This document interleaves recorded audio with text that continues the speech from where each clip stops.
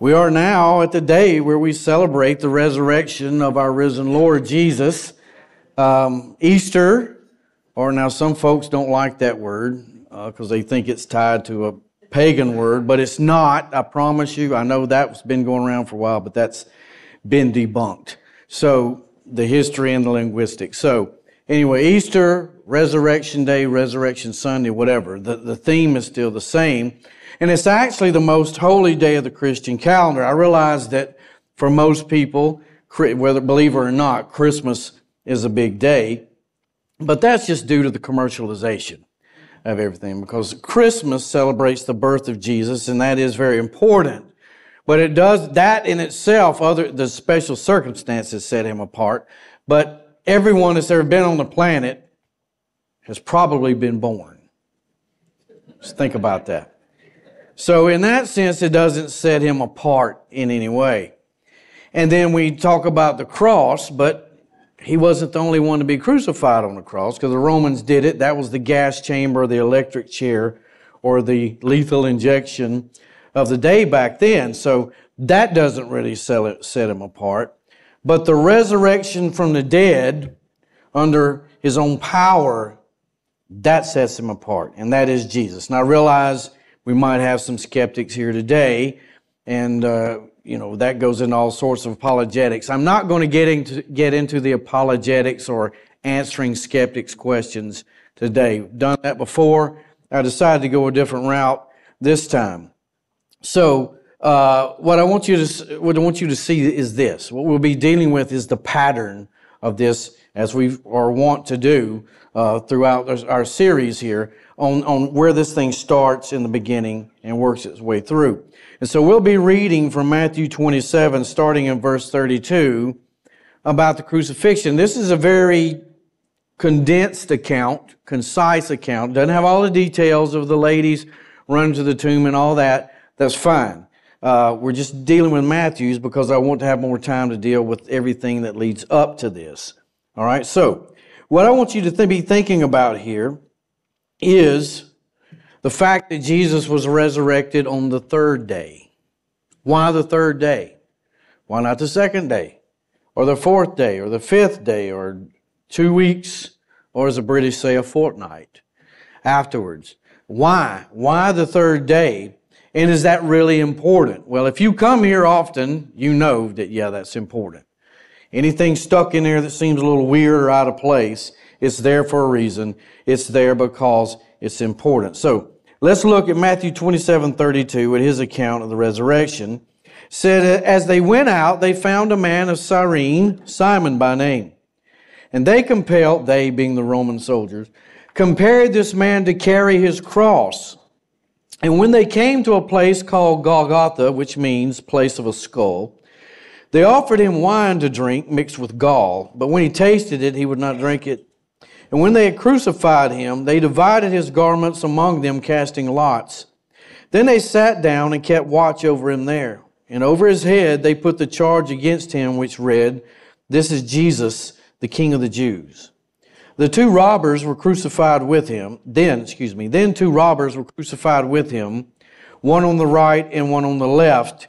And those who passed by derided him, wagging their heads and saying, you who would destroy the temple, and here we go, rebuild it in three days, save yourself. If you are the Son of God, come down from the cross. So also the chief priests with the scribes and elders mocked him, saying, He saved others, he cannot save himself. He is the King of Israel. Let him come down from the cross, and we will believe in him. He trusts in God. Let God deliver him now if he desires him. For he said, I am the Son of God. And the robbers who were crucified with him also reviled him in the same way. Now, from the sixth hour, now that's noon, the way they reckon time, the day starts at 0600. Now, from the sixth hour, there was darkness all over the land until the ninth hour. And the ninth, and about the ninth hour, Jesus cried out with a loud voice, saying, Eli, Eli, lema sabachthani, that is, my God, my God, why have you forsaken me? And some of the bystanders, hearing it, said, This man is calling Elijah. And one of them at once ran and took a sponge, filled it with sour wine, and put it on a reed and gave it to him to drink. But the other said, Wait, let's see, let us see whether Elijah will come to save him. And Jesus cried out again with a loud voice and yielded up his spirit. And behold, the curtain of the temple was torn in two from top to bottom, and the earth shook, and the rocks were split. The tombs also were opened, and many bodies of the saints who had fallen asleep were raised. And coming out of the tombs after his resurrection, they went into the holy city and appeared to many. When the centurion and those who were with him, keeping watch over Jesus, saw the earthquake and what took place, they were filled with awe and said, Truly, this was the Son of God. And there were also many women there looking on from a distance who had followed Jesus from Galilee, ministering to him. And among whom were Mary Magdalene and Mary, the mother of James and Joseph, and the mother of the sons of Zebedee. When it was evening, there came a rich man from Arimathea named Joseph, who also was a disciple of Jesus. He went to Pilate and asked for the body of Jesus. Then Pilate ordered it to be given to him. And Joseph took the body and wrapped it in a clean linen shroud and laid it in his own new tomb, which he had cut in the rock. And he rolled a great stone to the entrance of the tomb and went away. Mary Magdalene and the other Mary were there sitting opposite the tomb. The next day, that is, after the day of preparation, the chief priests and the Pharisees gathered before Pilate and said, Sir, we remember how that impostor said while he was still alive, After three days I will rise. Therefore, order the tomb to be made secure until the third day, lest his disciples go and steal him away and tell the people, He has risen from the dead, and the last fraud will be worse than the first. And Pilate said to them, You have a guard of soldiers. Go, make it as secure as you can. So they went and made the tomb secure by sealing the stone and setting a guard. Now, after the Sabbath, toward the dawn of the first day of the week, which is Sunday, Mary Magdalene and the other went, Mary went to see the tomb, and behold, there was a great earthquake. For an angel of the Lord descended from heaven and came and rolled back at the rolled back the stone and sat on it. His appearance was like lightning, and his clothing white as snow. And for fear of him, the guards trembled and became like dead men. But the angel said to the women, Do not be afraid, for I know that you seek Jesus who was crucified. He is not here, for he has risen as he said. Come see the place where he lay. Then go quickly and tell his disciples that he has risen from the dead, and behold, he is going before you to Galilee, and there you will see him. See, I have told you. So they have departed quickly from the tomb with fear and great joy and ran to tell his disciples. And behold, Jesus met them and said, Greetings. And they came up and took hold of his feet and worshiped him. Then Jesus said to them, Do not be afraid. Go and tell my brothers to go to Galilee, and there they will see me. While they were going, behold, some of the guard went into the city and told the chief priests all that had taken place. And when they had assembled with the elders and taken counsel, they gave a sufficient sum of money to the soldiers and said, Tell people his disciples came by night and stole him away while you were asleep. And if this comes to the governor's ears, we will satisfy him and keep you out of trouble. So he took the money and did as they were directed. And this story has been spread among the Jews to this day. Now the disciple, now the eleven disciples went to Galilee, to the mountain which Jesus had directed, directed them. And when they saw him, they worshipped him. But some doubted. And Jesus came and said to them, All authority in heaven and on earth has been given to me. Go therefore and make disciples of all nations, baptizing them in the name of the Father and of the Son and of the Holy Spirit, teaching them to deserve all that I have commanded you. And behold, I am with you always to the end of the age. Now, there's all sorts of symbolism and patterns and structure we could go through in what I just read, even in this condensed account from Matthew. Lots of stuff going on. But you get, once again, it is concise if you compare it to, to especially to Luke's account. But you have this idea of the third day. And I don't know that we always appreciate just how important that is. Because what we constantly see here as we study is that the pattern starts at creation and it runs all the way through. So you just pull on these different threads. No matter where you start there in Genesis, you still, you always wind up at Jesus. And so Jesus is talks about the third day. He predicted that he would rise on the third day many times, and the apostles also mentioned the third day specifically. Now, the question you might be asking is all right, Eb, is this just some other neat nugget to, to pick on? Or is there something really behind this? Well, I think there is. I think if you focus on the third day, then you get the total picture of what, why Jesus did what he did. Maybe a slightly different angle, but it still gets across what Jesus did for us. So Jesus said in Matthew 12 40, there we go. For just as Jonah was three days and three nights in the belly of the great fish, so will the Son of Man be three days and three nights in the heart of the earth. That quote is important. We'll come back to it here in a minute. Mark 8:31.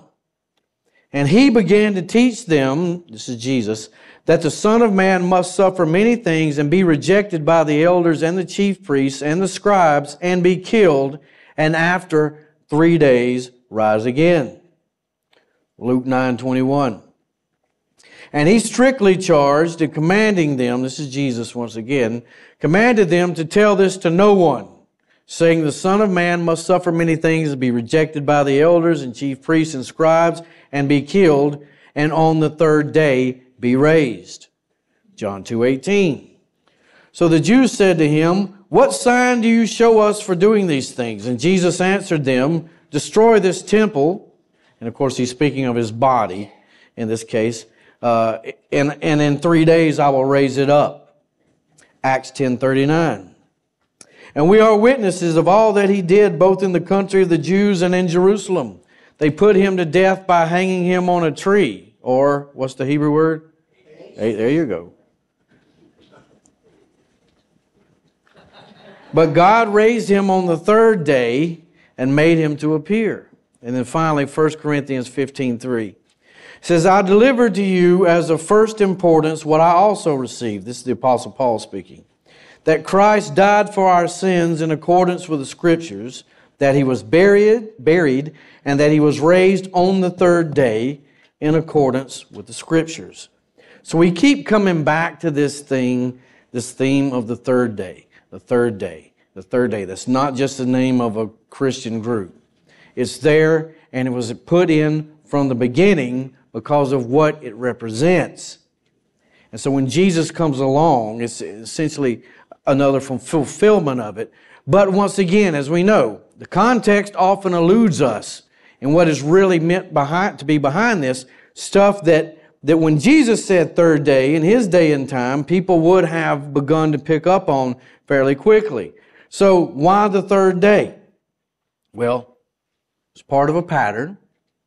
And the answer to why the third day is important to the resurrection is, we'll see, is that the biblical authors, and of course Jesus himself, everyone that's writing or being quoted here, are drawing on a consistent pattern. And the pa- pattern begins in, anybody want to care what, care to guess what chapter? Genesis, that's a book. What about chapter?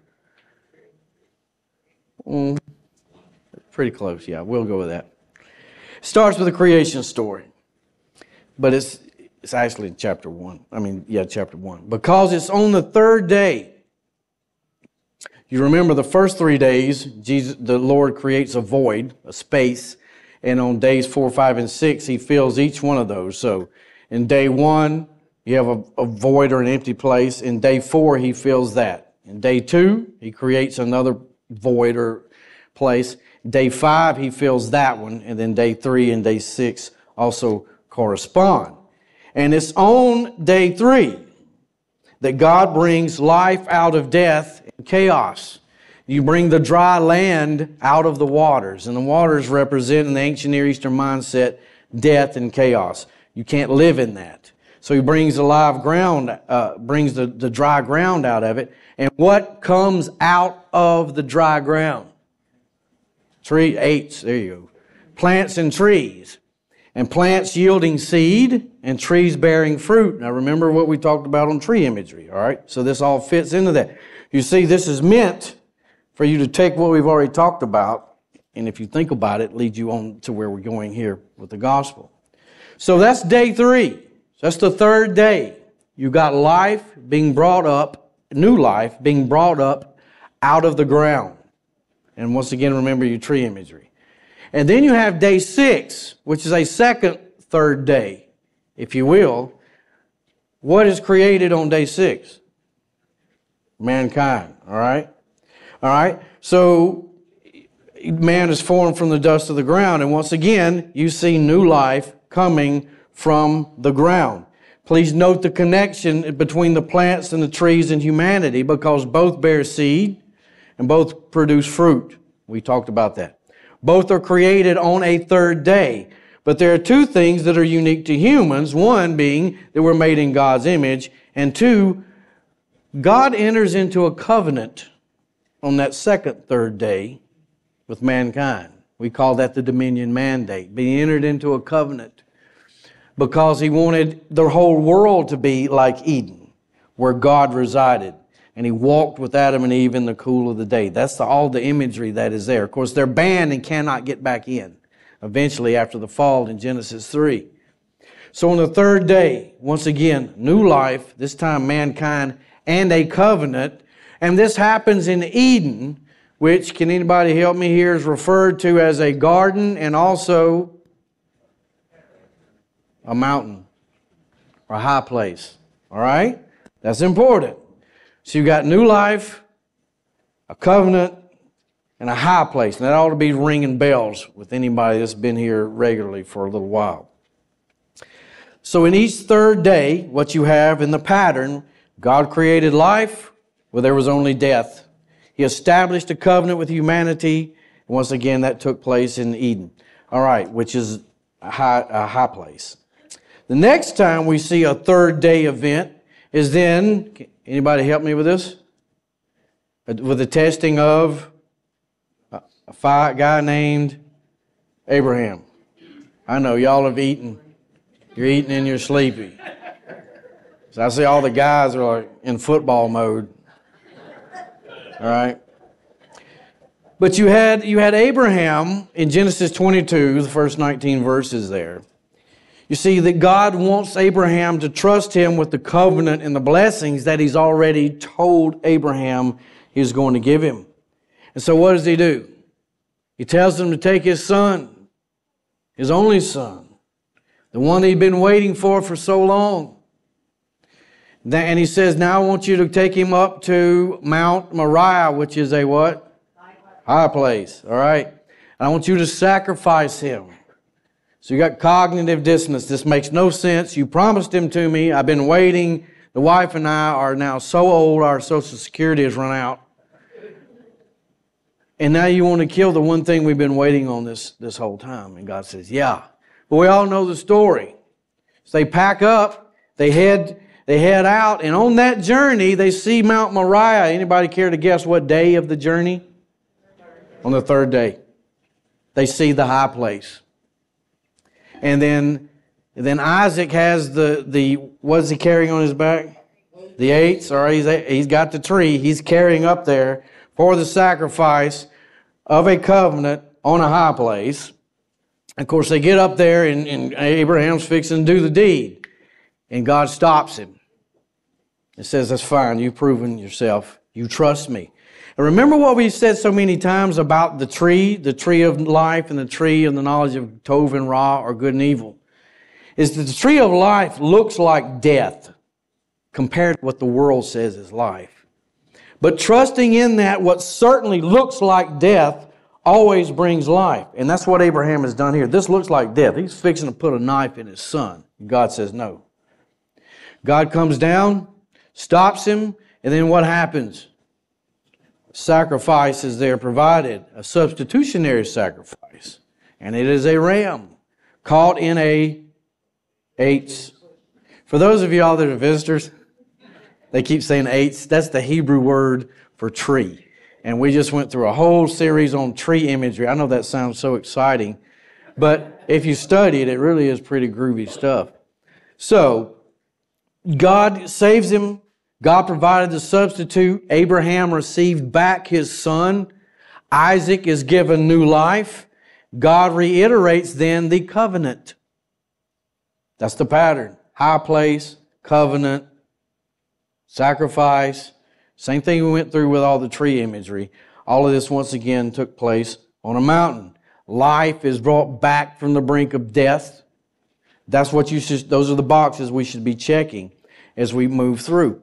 We then see the next third day pattern with Israel, the nation in Sinai. God had just liberated them from the bondage in Egypt. You remember Moses goes to Pharaoh and tells him, let my people go. We want to go out to worship. And he says we need to go a certain distance. Anybody know how far that was? Three days. See a pattern here?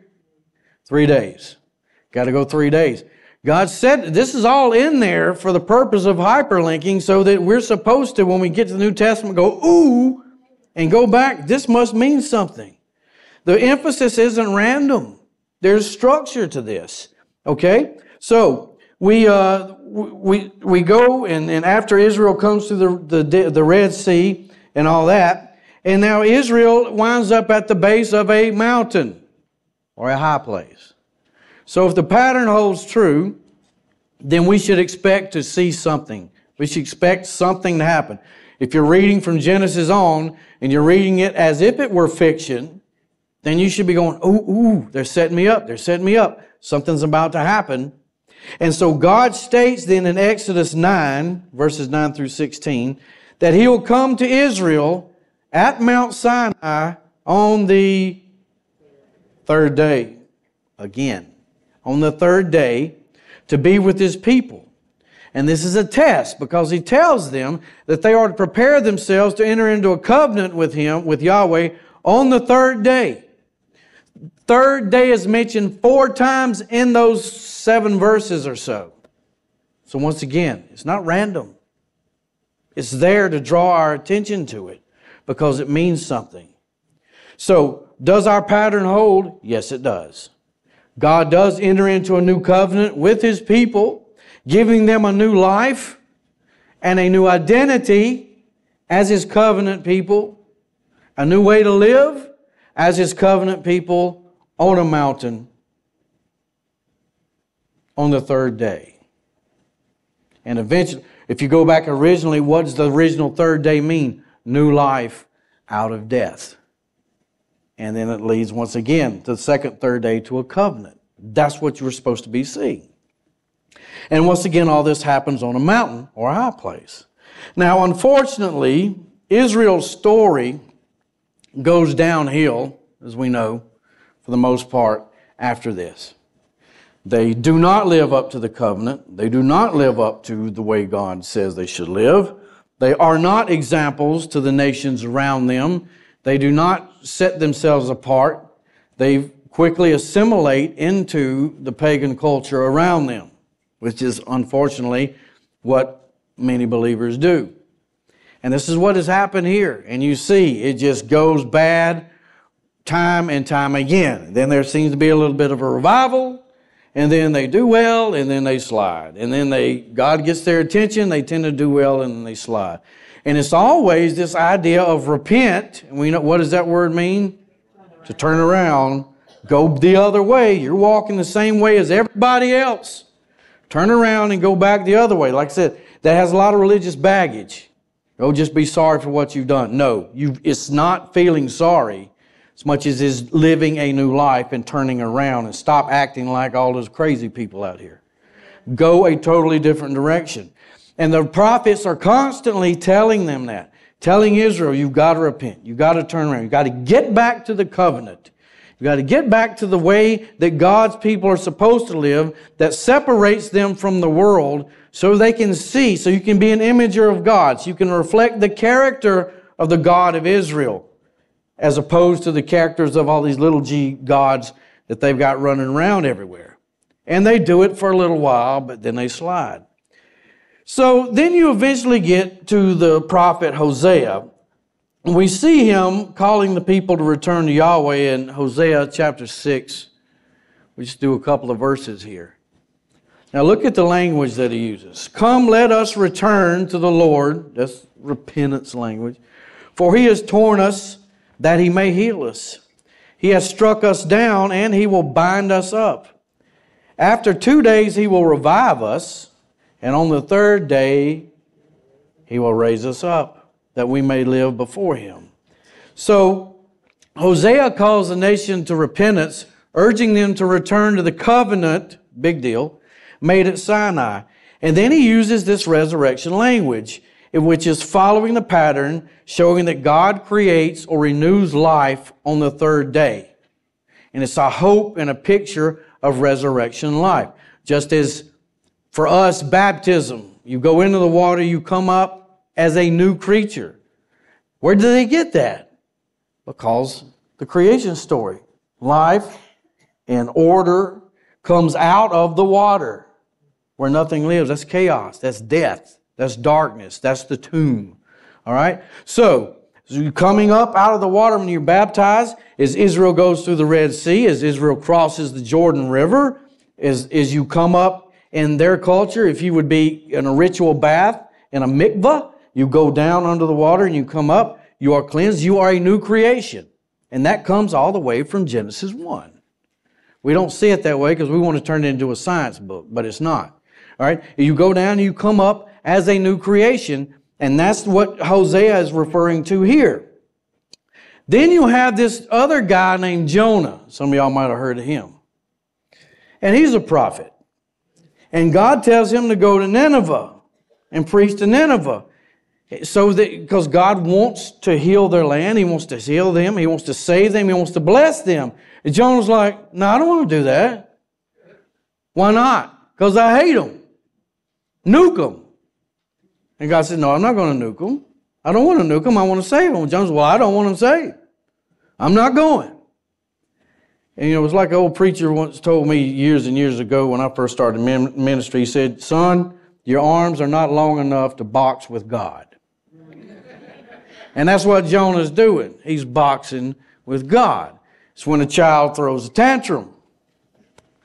You're boxing with a parent. And a little kid, your arms are not long enough. To, they might let you win. That's what a lot of them do nowadays. But at any rate, um, you, you can't win that fight. And so Jonah gets on a boat and he heads the opposite way. And of course, we know that then there's a, a, a storm on the sea and they try to figure out what to do, and Jonah said, It's me. So they throw him overboard, which was what they often did with people if they thought you were the cause of the storm back in those days. Well, he's causing it. We just get rid of you. And of course, then the story goes that he's swallowed up by a great fish, and everybody wants to figure what kind of what fish was it? Stop. Not the point of the story. How could he live three days in the bed? Stop. Not the point of the story. What's the purpose of the story in their context? Three days, but what does water mean? Chaos. He's thrown into the deep.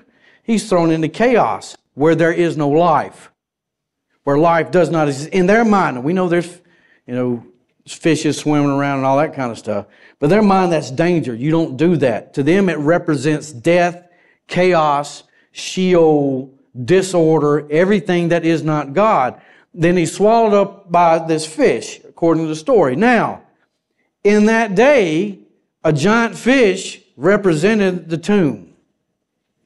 It represented death. And he's been carrying deep, being carried deeper and deeper into the abyss, into death and chaos. That's the point of the story. Now you can sit there and argue all day long about did could, you know, how long could he survive with all stomach acid, and I've seen all the garbage. The point is, that's not the point of the story. If you were to walk up to the Assyrians, the Ninevites, the Israelites, or even Jonah himself and try to start quizzing him about that, they, they would all look at you like you've got two heads. Say, that's not the point. The point is, Jonah goes into the tomb. He goes into death and chaos, and he's there for how long? And then the fish vomits him out onto the dry land after Jonah's prayer and his repentance is heard. That's the point of the story. That crying out to God brings you out of death. And so, in the framing of the story, what happens to Jonah? He comes out of death, out of the water, onto dry land, which is why they're so careful to say it that way. he's got new life because he was in death. And who brought him out? Who gave him that new life?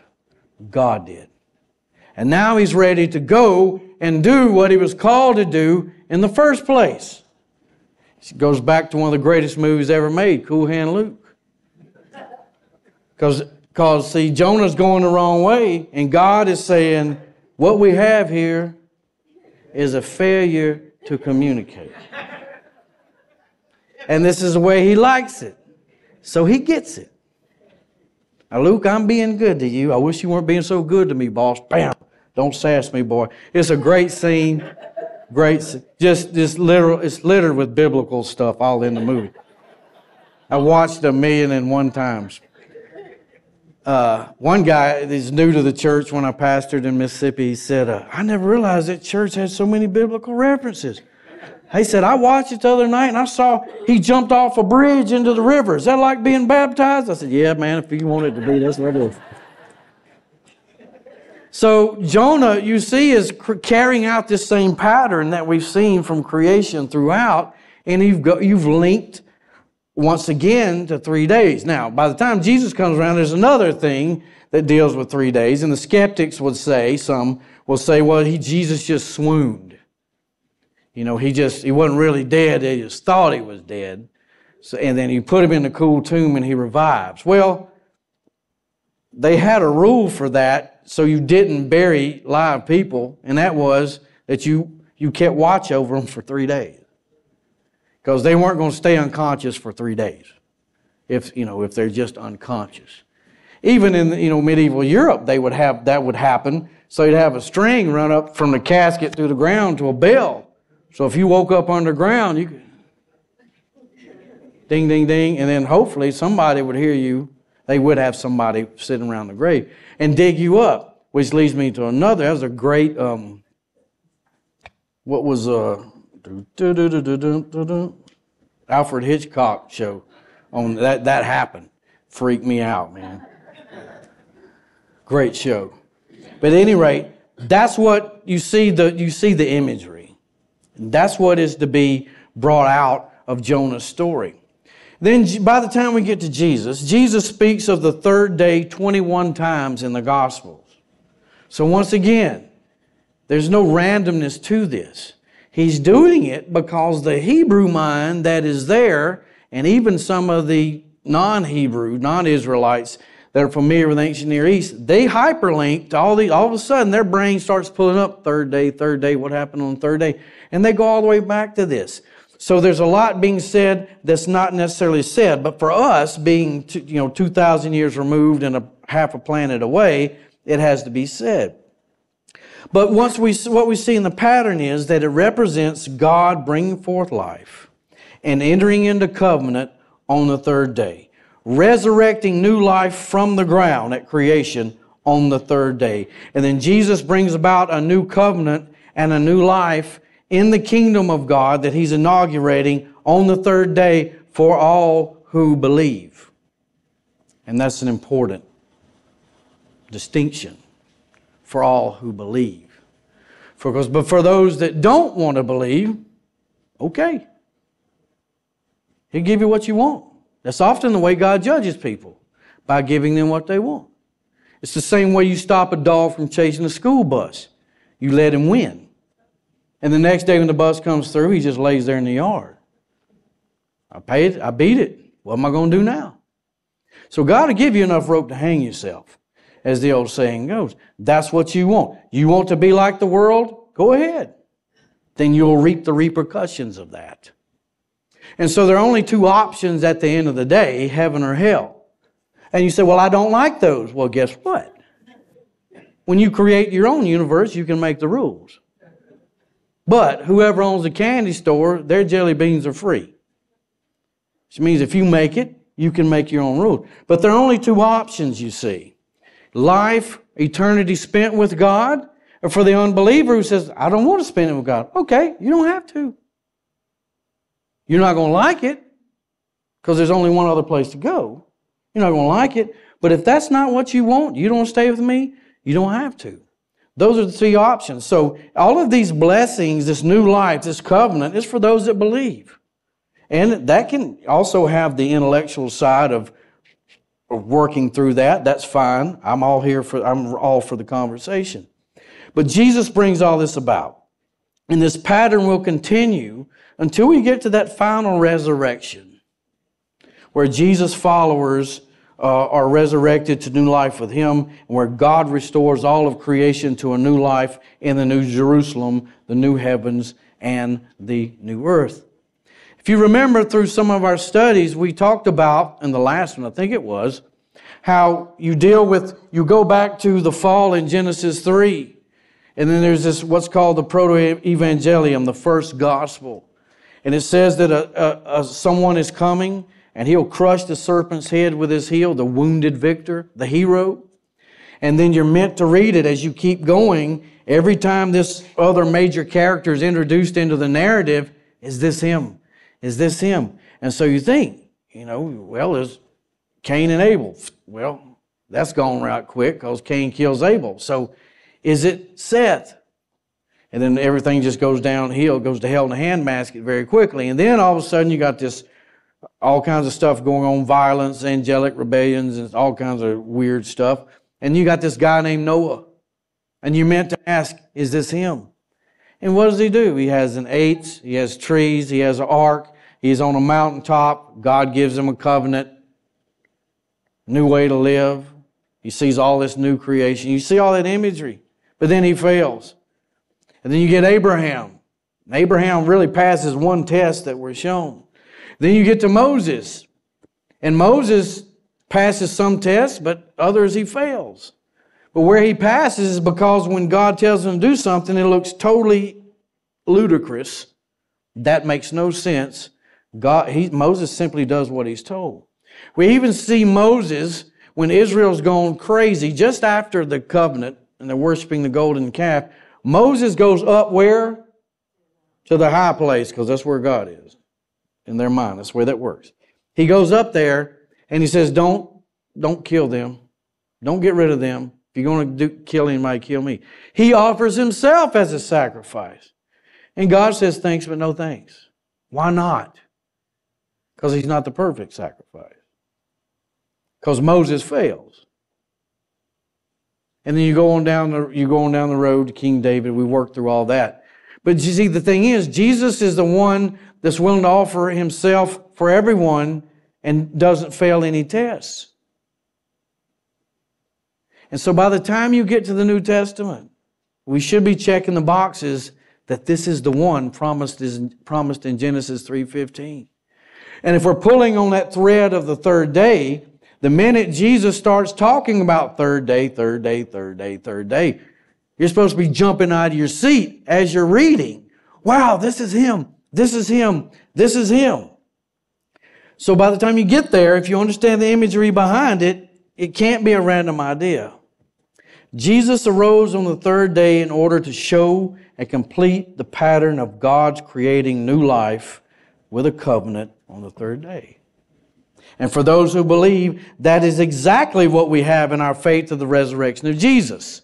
Just as God rose Jesus from the tomb, the earth, in the ground, the grave, same, same concept. On the third day, we who believe can also be resurrected into a new life, a new type of life, eternal life with Jesus. And as for now, remember what Jesus told his disciples before he left this earth. And we've been talking it because somebody will say, well, I want the good stuff now. Well, we're talking about that on Sundays. And so if you want to understand what that means, come back and see us next Sunday. Now, before I close out, you say, wow, he's went quick. Yeah, it's, it's, it's Easter. I want to see my grandkids a little longer before they head back home. And y'all all want to do the same. So we're not going to sound, sit here all day just to keep you for a time limit. But what I want to say is this, because for some, you know, Christmas and Easter are generally days you get folks in church that you never get in before, for whatever reason. Sometimes Mother's Day, you can do that. And back in the day, my job was to travel and debate atheists and whatever, evolutionists, all that kind of stuff. And they're generally looking for an intellectual answer, and we've got them. What I never understood was how they thought some of their answers were intellectual. but so they want the onus is on us to be scientific and logical while they believe in crystals or whatever. What I want to say to you if you enter or in any camp of unbelief is Christianity can hold up to any objection you might have. If you want to go through the laws of logic, we can. And we win every time. Nothing circular. We don't violate the law of non contradiction or any of the rest of them. That conversation can be had if you truly want to have it. I can't sit here and prove a miracle. By definition, that is something that happens outside the bounds of science and doesn't happen often. I can prove that most scholars believe there was a guy named Jesus. I can prove that we see these patterns scattered throughout this writing of, you know, 60 different authors over, or 40, whatever, the, however many authors it is, over thousands of years. I can show you that what it says has come true and is coming true. And so at the end of the day, the only obstacle to believing in a new life and a new covenant and relationship with God is going to be a heart that just doesn't want it because we don't want anybody to be the boss over us. And if you go back once again to Genesis, you find out that's the problem mankind's always had. Always has been, always will be. That's why no institution is perfect, no matter how many laws or regulations you set in place. Mankind will find a loophole. That's what we do. How many times must I forgive? Seven? No, 70 times seven. And then we do the math. So on the 490th time, I can smoke the guy? Turn the other cheek. Well, I only got two. Technically, you got four. But turn, you know, one, two, I'm not do three, four. But one, two, now I can smoke him. You see, that's what we want to do because that's what comes naturally. But that tree of life does not come naturally. That tree of the knowledge of good and evil, that's what comes naturally. And it's shiny and it's sexy and it looks like I can have it all now. But every time it leads to death. The tree of life looks like death. This is not going to work. It can't. Look what so and so is doing. He's making millions of dollars. It looks like it can't work, but as we see, just as Abraham taking his son up on a mountain to kill him, that can't work. It did. And it's happened, the pattern you see all throughout. It looks like death, it leads to life. It looks like life, it leads to death. So it comes down to trusting God. And if you want to live eternally, then you got to trust Him that what looks like death, laying someone in the ground and all that, does lead to life. And He's the only way out of it because He's the one that created life. So, for those who believe, what we have in our faith is just that a new life in a new kingdom and a new covenant. Shamefully, what turns a lot of people off is those of us that claim to be believers do not live according to that covenant. We act like everybody else sometimes. We lose our cool. We give them the number one driver award. We want to pop a cap. We want to get pop a cap in them. We want to beat them down and all that. You know, and I'm a peaceful man until you mess with my family or somebody else. Then one of us, if not both of us, going to the hospital. But I'm not looking for trouble. I'm not looking for a fight. I will be. I will try to get out of it as peacefully as I can. We don't go, we're not supposed to go looking for trouble, but we do. And even sometimes when we're defending a good cause, we look like idiots doing it. Because we're screaming and hollering and we look just as bad as the nutcase on the other side of the street with their sides. It's not the way Jesus would do it. So as for now, remember what Jesus told his disciples, his disciples before he left this earth. If it's going to get any better, before Jesus comes back, because if we believe we're in the kingdom, we've been given that new life and a new covenant, which means we're supposed to live a certain way. And as we've been saying, if you want it to get better here and now, then everybody's got to start living by that. And now the world's not going to do that. We've got to do it in spite of the way they think, in spite of the way they act, in spite of what they do. We've got to do it anyway. And you know what that means? It means sometimes you're going to eat some crow. It means sometimes you're going to take a butt whooping. It's a nice way of putting it. You've got to be humble. We've got to be humble.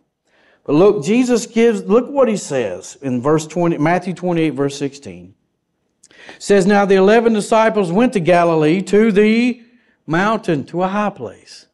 Because symbolically, that's where God, even the pagan world, you know, Zeus is on Mount Olympus. That's where the gods are. Went to the mountain which Jesus had directed them, and they saw, and when they saw him, they worshiped him, but some doubted. And Jesus came and said to them, All authority in heaven and on earth has been given to me, to Jesus. Go therefore, he charged them, and make disciples of all nations. Not just folks that look like you, not just folks that think like you, not just folks that have a similar passport, of all nations, baptizing them. What does baptism mean? represent coming up out of the water and death into a new covenant, which is what the resurrection is all about. Baptizing them in the name of the Father and of the Son of the Holy Spirit, teaching them to observe all that I have commanded you. Was he? We're talking about that now. Living the covenant, the new life, so we can be imagers of God and show the character of God to the world. And behold, I am with you always to the end of the age. So we are to go and make disciples. And as we've been studying in our series on the Sermon on the Mount, that once again, that's how we are to model the new kingdom to others. But none of this can happen in a person's life until they've been redeemed by Jesus. Because Jesus is not just another life coach. He's not just another TED talker. He's not one of those motivational guru guys that goes around for $50,000 with one of these things on. Uh, he's not one of that. No, he's not that. He's the only way back to Eden because he's the Son of God. You eliminate that, that supernatural aspect, and all you've got is another life coach. Do this, and life will be pretty groovy. But he can't help you once you breathe your last. He can do nothing to extend time to eternity. He can do nothing to heal you, change your heart. He can change the way you do things, but He can't change your heart, and that's the difference. Redemption has still got to be part of it. And it was a substitutionary redemption, as we saw from Genesis. So the perfect sacrifice, who rose in order that we will one day rise to be with Him in His kingdom for eternity, that's Jesus. And it happened on the third day because that's when God creates life. And what does He do then? Covenant. And there you have it. That's why Jesus had to raise on the third day. And I didn't make it up. Once again, you go back to the beginning as with any other book. Don't start at John. Go back to the beginning and read it like you would another book. As if it were fiction, though it's not. And see God jumping off the page, trying to get our attention if we understand the context. And so that's what Easter means what the third day means new life and a new kingdom and a new creation with a new covenant. Do you believe? Will the pattern continue through you and your life, or does it do you end the cycle? Maybe you are beginning to believe. That's fine. I get the mental assent. I get it. I get it. I get it. I've seen very few people just cold called and bang, all of a sudden get saved and baptized, you know. Just for the people in the Bible, they've heard Jesus for a while and they're thinking and they're working through it. Because it's, you know why? It's difficult because it's totally backwards. It's upside down from the way everybody thinks. Maybe you have questions or concerns. That's okay. Jesus has the answers. But I ask you, if you're in that state, to prayerfully consider the meaning of Jesus' resurrection, a way to become a new creation, risen to new life, and a new covenant with the Creator of all things. That's what I want to leave y'all with today, if it's new to you. If you want to get that settled, as the worship team plays the last song, you come up here and talk to me. But if not, you already know. At least you got one more tool in your bag for understanding what, what the third day means. And it's not silly, it goes down to the root of all of it. Would y'all bow your heads, please? Dear Heavenly Father, Lord God, we thank you for this day and all that it means. Lord, when you came down and took the ultimate punishment for all of us, and you sent your Son who passed the test for all of us because we can't do it. And you sent your Son who resurrected on the third day because that's the day when you create new life out of death and you enter into covenant with your creation. And so, Lord, we thank you for that and all that it means. And Lord, I just ask that you touch the hearts of everyone here, believer and unbeliever alike. Don't start a work. Let them ask the questions. That's, we don't mind anybody asking questions. Ask all the questions you want. So, Father, we thank you for this. And Lord, as we go throughout the day and the week and the rest of the year, please, for those of us who believe, keep it in our hearts and minds just what that means a new life, a new covenant, a new kingdom. And may you convict us to live that way, Father. In Jesus' name I pray. Amen.